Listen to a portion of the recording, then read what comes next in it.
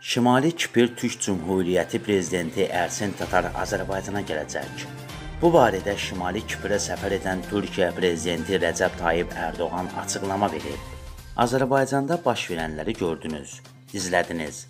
Sonda həmd olsun ki, Azərbaycan 28 ildir Ermənistan işğalında olan torpaqlarını 44 gündə azad etdi.